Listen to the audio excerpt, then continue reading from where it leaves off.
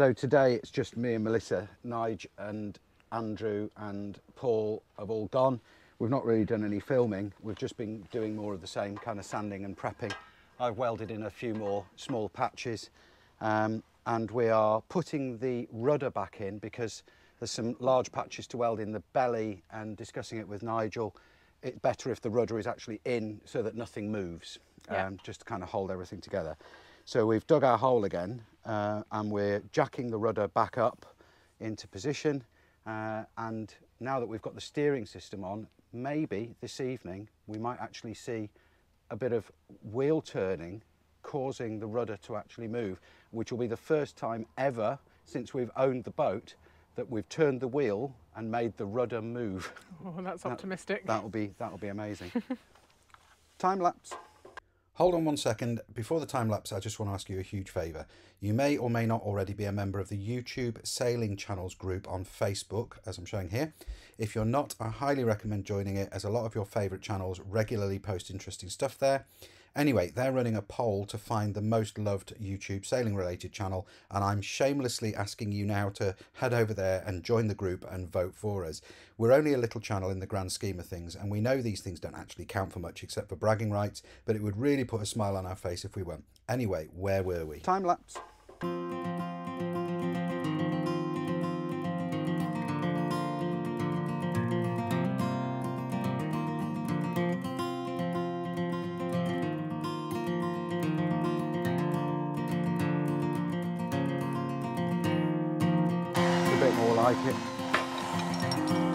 It's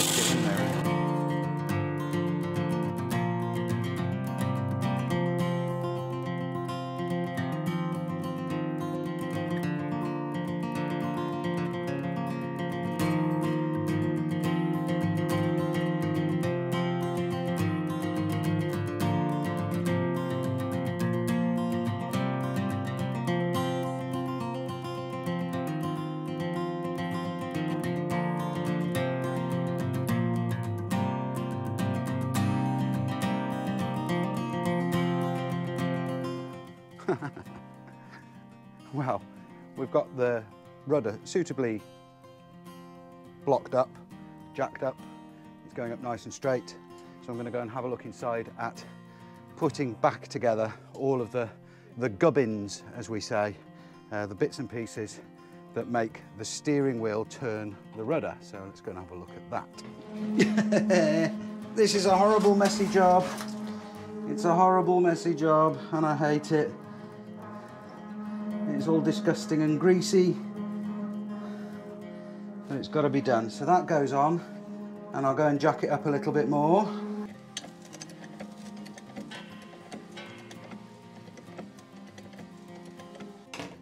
We a little bit more there, a little bit. Okay, and that's just all marine grease that was inside the tube and it's pushed it out, but it's good stuff. It's good stuff. Okay. So then, ow, ow, ow, ow. Watch your fingers. That goes on. Yeah. Lovely. And again, because this has now been apart once, I know how it works and I can take it apart to do maintenance again very, very easily in the future. It won't give me any, or it'll give me less problems than this kind of thing normally gives people. Should be reasonably compliant with my desires next time. Oh, look at that. Once it's all back together, the problem is you, you clean these things up at home and then putting them back together they get all greasy again so I'll have to give it a nice good proper clean once it's all back together. Right, I need to go and jack it up some more now. You okay? Yeah.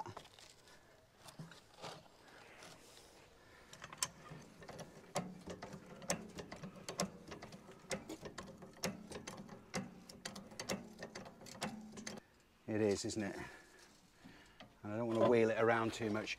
I'm just going to go back in the boat and um, tighten a few things up to stop it falling down on anybody's head. The, the, the jack is kind of, when the jack's going up, it's kind of pushing the bottom of the, of the rudder post slightly off to an angle. So it's, it's giving a bit of resistance. And I don't want to force it because I don't want to bend anything or twist anything. Um, but it's going fine, just little by little and carefully, carefully. So we don't hurt anything. I'm going to need my Allen keys, aren't I, for that grub screw. Although I can't see that the grub screw thingamy will actually do anything very much. Let's put that back down. Yeah. Oh, I see. That's why we've stopped. Melissa? Yeah. Can you lower it just a tiny, tiny fraction? Yeah. Be really careful with it being on those logs. Yeah. Ah, there we go. Right. Okay, now raise it up because I'm trying to get the four pins lined up at the top. Okay. Keep going up a bit. And again. Ah, no, hang on. Down again.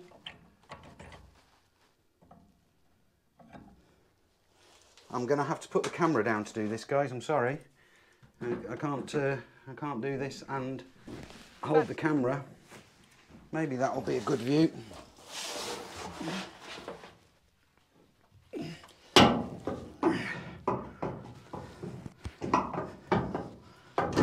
Okay, try going up again now. And again. Okay, hold it there. I'm just going to put a nut on one of those. You okay? Yeah, we're missing some nuts. Really? We'll find them. Okay. Um, yeah, can you jack up? if it feels like it's twisting the shaft, then don't. What about now? Hold it there then. I'll come out and we'll uh, we'll put the actual uh, foot in, the actual rudder gudgeon.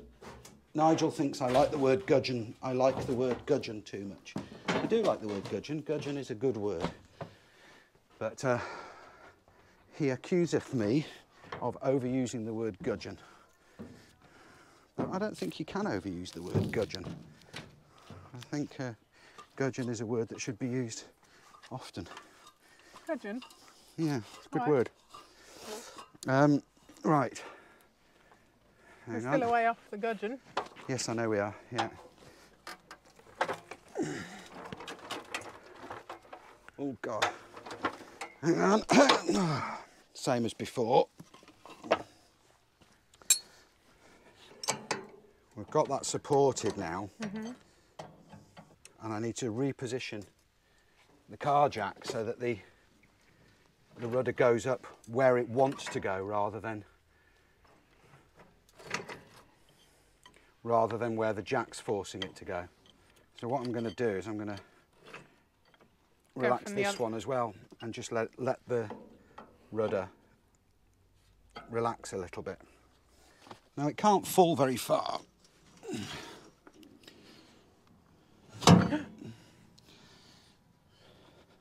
Well, at least it's now straight. Okay.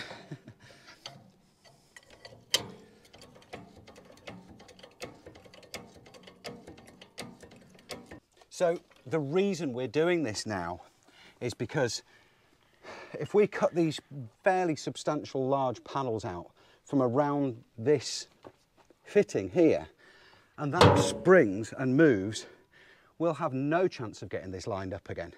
Well, the steering works, um, but I'm a casualty of war, I'm afraid, in this. That was possibly the most challenging mechanical job I've ever done, purely because of the access and the difficulty of holding the very heavy parts of the steering mechanism in place whilst trying to do them up and just getting covered in grease.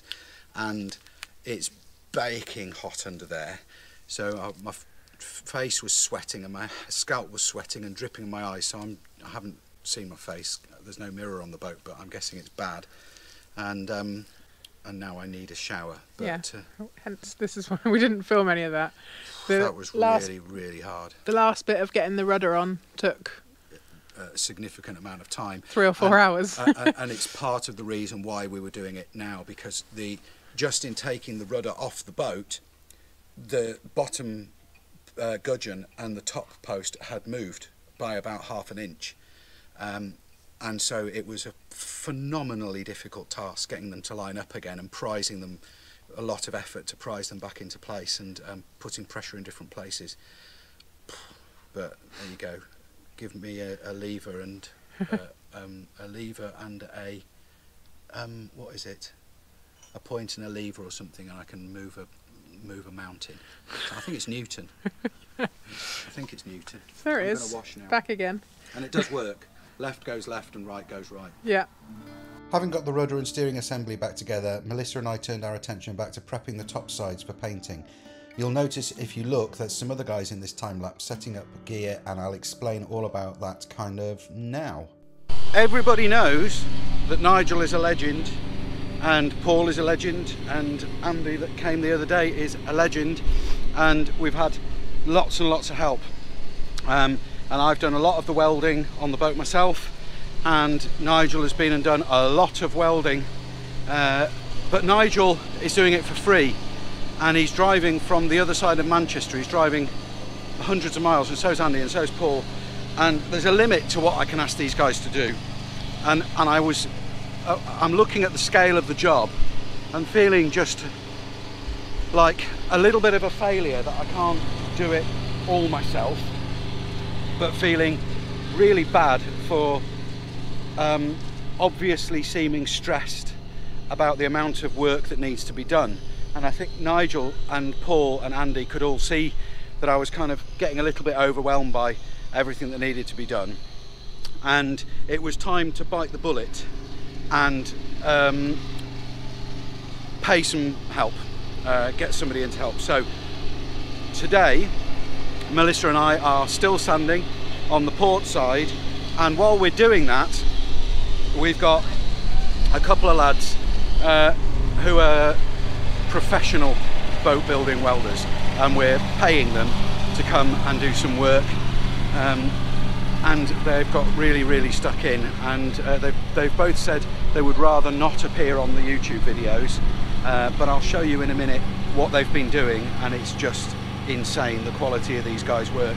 So um, I can't take credit for these the, the patches that are going on at the minute but it's uh, it's taken a real weight off my mind. It's uh, we've had to to obviously break out the bank account to pay them to do it but I think it's only right. We I, it's some of these jobs are just kind of beyond my level of skill particularly below the waterline where it's really really critical for the safety of the boat the safety of my family and for insurance purposes those bits need to be done by a professional. So I'll show you uh, what what they've been doing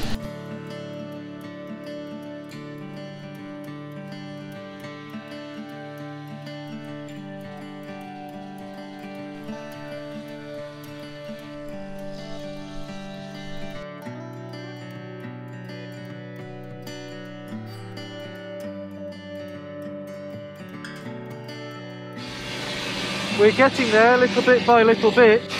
I checked with uh, with the lads and he said he doesn't mind the odd little video clip of him working. He just doesn't want to speak to camera. Uh, but it's all going great guns. Melissa and I have nearly got to the end of this side. Uh, the lads are still cutting and welding massive pregnant holes. Look. Uh, there you go.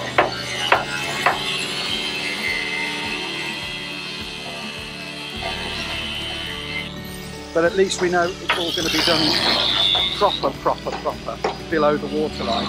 And the stuff that I've done above the waterline is absolutely fine. And if I did do those patches myself, they'd probably be okay, but at least I know they'll be okay, having been done by a professional coded marine welder.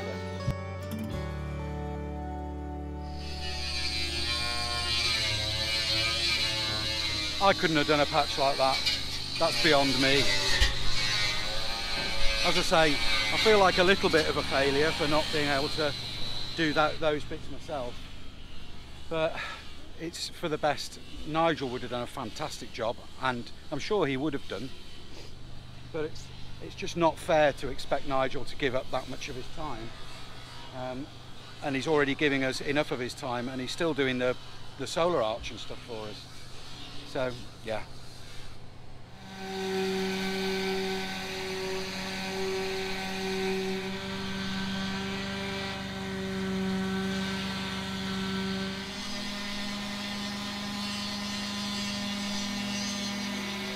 Right, we are done with our topside sanding. We're done with our topside sanding.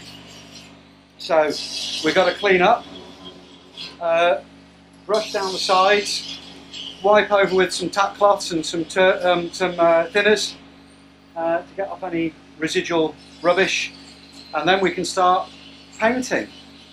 And one of the questions we get asked a lot, a lot, and I mean a lot on this channel, is why are you brush painting the boat? And there's a really good reason for it. It's because the coats that we've been doing so far have all been base coat primer. And the paint manufacturer specifically says that you must get, you must not roll on the first coat. It's either got to be sprayed or brushed to achieve the right thickness. So we're, we're not spraying in the yard. Apart from anything else, I don't have a water trap for my compressor. Uh, so we've been brushing it and flattening it back but we're going to roll this coat on now. So um, it's not just ignorance or stupidity. There was a reason why we were brush coating the paint coat thus far, and now we're going to be rolling. So um, yeah, big painting montage coming up. Wiping down with thinners before we do anything else.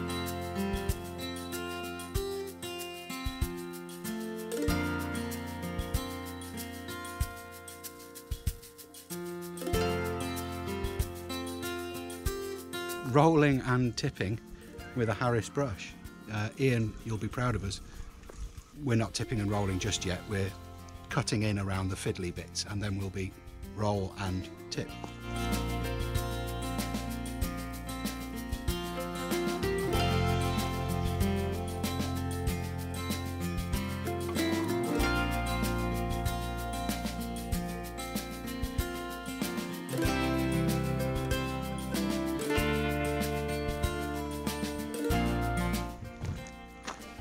Still watching?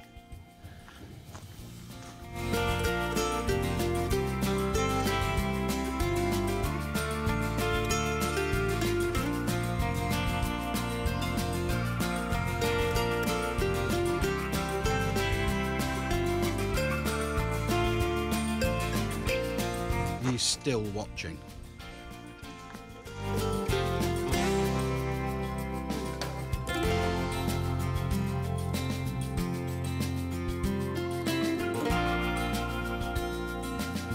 We've filled a 128 gig SD card and changed it for another card and you're still watching. The light is now starting to fade. So we can't go on much longer because we're going to hit dew point soon. This paint's really tolerant of the dew point, so don't panic about that but we can't go on much longer. Unfortunately, we're not going to get the other side done, the port side done today. But really pleased with this.